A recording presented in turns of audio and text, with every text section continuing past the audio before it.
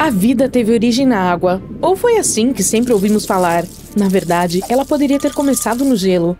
Sabemos que tudo teve início há mais de 3 bilhões de anos, com micróbios simples, e vem evoluindo desde então. Entretanto, há muitas teorias sobre como exatamente isso aconteceu. Talvez não o calor, mas o frio tenha sido a origem. As células foram as primeiras formas de vida minúsculas, mas antes de as termos totalmente desenvolvidas, havia coisas mais simples que não conseguiam sobreviver por conta própria. Determinadas substâncias químicas importantes para a vida, como os aminoácidos mencionados, geralmente flutuam na água em pequenas quantidades. Primeiro, eles precisavam de algo que os ajudasse a permanecer juntos sem se espalhar por toda parte. Caso contrário, teriam se perdido no mar. E segundo, precisavam se unir em grupos para formar coisas mais complexas. Além disso, quando começaram a se formar em grupos, iniciaram o processo de evolução, escolheram as melhores moléculas para realizar tarefas específicas e expulsaram as defeituosas. Sem essa organização, os replicadores mais rápidos ou parasitas teriam assumido o controle. Havia várias maneiras de se organizarem. Há 3 bilhões de anos, os oceanos eram cobertos de gelo, e descobriu-se que certas substâncias químicas importantes para a vida, como aminoácidos e ácidos nucleicos, são mais estáveis em temperaturas frias. Quando a água congela, essas substâncias químicas que se encontram nos oceanos se agrupam, facilitando a formação da vida. Ou talvez o que os ajudou foram pontos especiais chamados de fontes hidrotermais. Imagine as partes mais profundas e escuras do fundo do oceano, onde a água quente jorra de rachaduras na crosta terrestre. A vida pode ter começado exatamente ali, nessas condições extremas. Esses respiradouros expelem elementos importantes como carbono e hidrogênio, que são essenciais para a vida. À medida que a água superaquecida percorre a crosta terrestre, coleta outros elementos importantes, como minerais. Quando finalmente rompe dos respiradouros, cria uma espécie de sopa rica em produtos químicos. Nas fendas rochosas ao redor desses respiradouros, todas essas moléculas podem ter se juntado e gerado os primeiros sinais de vida. O ambiente quente e rico em minerais agiu como uma cozinha para preparar as primeiras receitas de seres vivos. Ainda hoje, esses respiradouros abrigam ecossistemas vibrantes, mostrando que a vida pode prosperar em condições extremas. Histórias antigas também falam sobre a vida começando a partir da argila. Acontece que, da mesma forma, essa ideia tem uma base científica. Imagine minúsculas partículas de argila, como pequenos grãos de areia, unidas de forma estruturada. À medida que crescem e se tornam maiores, mantêm sua forma original intacta. Elas formam áreas maiores e aglomerados, se assemelham a manchas, aglomerados de argila com pequenos buracos em seu interior. Cada mancha pode ser exposta a coisas diferentes no ambiente, como produtos químicos ou substâncias. Quando essas moléculas externas atravessam a argila, ficam presas no caminho. Uma vez ali dentro, se organizam em padrões específicos. Esse processo é comparado à forma como nossos gênios organizam as coisas. Da mesma forma que os genes dizem ao nosso corpo como organizar diferentes partes, os remendos de argila organizam as moléculas. Essa teoria foi criada na década de 80, embora tenha sido muito controversa na época. Precisamos de mais pesquisas para descobrir se é verdadeira ou não. Os povos antigos poderiam estar certos quando diziam que todos começamos com o relâmpago de Zeus. A vida em si é uma reação química e precisa de energia. Sem isso, nada acontece. As células são os blocos de construção da vida. Você pode imaginá-las como pequenas fábricas cheias de atividade, trabalhando constantemente para mantê-lo vivo. Assim como toda fábrica precisa de uma fonte de energia para manter suas máquinas funcionando sem problemas, elas necessitam de energia para fazer seu trabalho.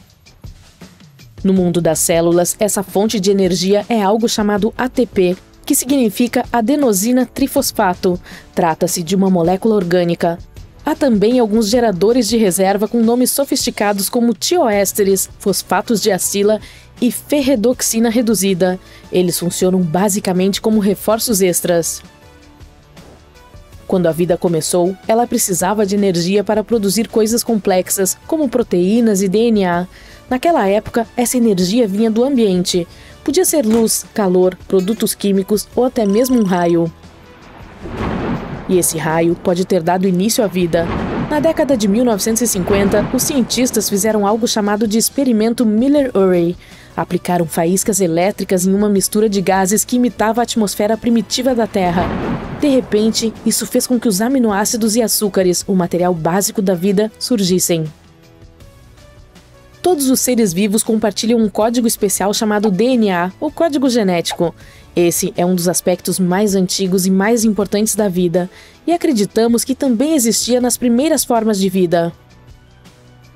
Esse código é bastante complicado. Ele envolve juntar os blocos de construção certos, aminoácidos, na ordem correta, e há moléculas especiais chamadas tRNA e mRNA que ajudam nesse processo. A versão inicial desse código provavelmente era mais simples do que a que temos agora. Ela pode ter usado instruções mais curtas, como duas letras em vez de três. Os cientistas ainda estão descobrindo como o DNA apareceu pela primeira vez. Alguns acham que pode ter começado junto com o metabolismo, onde certas moléculas ajudaram a juntar os blocos de construção corretos. Agora, eles acreditam que o segredo para entender como o DNA e as proteínas são formados está na observação do RNA. Esse é um agente versátil, uma molécula que pode realizar algumas das tarefas do DNA e das proteínas. No passado, poderia ter sido a estrela antes que o DNA e as proteínas assumissem o controle. E mesmo que estes sejam os principais atores agora, o RNA ainda tem funções importantes nos seres vivos. Por exemplo, pode ativar e desativar genes, controlando como as células se comportam. Mas então vem a próxima pergunta: como surgiu o RNA? Bem, precisamos buscar origens ainda mais simples. Trata-se de uma molécula grande e complicada, mas a vida poderia ter tido início com moléculas menores que se chocavam umas com as outras e originavam reações químicas. Estas podem ter ocorrido dentro de pequenas cápsulas que agiam como membranas celulares com o passar do tempo, podem ter evoluído para outras mais complexas, capazes de realizar melhor o trabalho. Em outras palavras, a vida poderia ter começado com uma receita básica e, aos poucos, ter acrescentado mais ingredientes. Todos os seres vivos são feitos de carbono.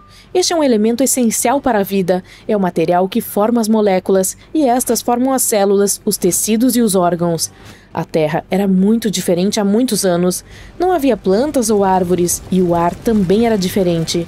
Em vez do oxigênio que respiramos agora, havia gases como hidrogênio, nitrogênio, sulfeto de hidrogênio e, é claro, dióxido de carbono, que continha carbono. Nesse mundo antigo, a vida talvez tenha começado de uma forma em que os organismos não comiam outros para obter energia. Talvez eles fizessem seu próprio alimento a partir dessas substâncias químicas simples. Poderiam ingerir esse dióxido de carbono como as plantas fazem hoje, e é daí que recebem o carbono. Chamamos isso de origem autotrófica. Acredita-se que certos metais, como o ferro e o níquel, juntamente com os minerais que os contêm, desempenharam um papel importante nesse processo. Esses metais e minerais agiram como assistentes, ajudando a realizar reações químicas importantes para o início da vida, e foram encontrados em toda a Terra naquela época, especialmente em locais onde não havia muito oxigênio. E por fim, temos uma teoria maluca de que a vida não teve início na Terra. Ela poderia ter sido trazida até nós de outro lugar. As rochas de Marte às vezes são lançadas ao espaço por grandes colisões cósmicas. Algumas acabaram chegando aqui, trazendo micróbios minúsculos. Ou seja, enquanto procuramos por vida em Marte, talvez tenha sido o planeta vermelho que deu origem à nossa própria vida. Ou quem sabe não tenha sido Marte. Outros sugerem que a vida pode ter pegado carona em cometas de outros sistemas estelares, viajando pelo espaço até aterrissar aqui. Mas se ela veio de outro lugar, isso levanta mais questões. Por exemplo, como começou no espaço em primeiro lugar? É por isso que os cientistas são um pouco céticos em relação a essa ideia chamada de panspermia. De qualquer forma, as origens da vida são um grande mistério e precisaremos de décadas de pesquisa para descobrir a resposta completa.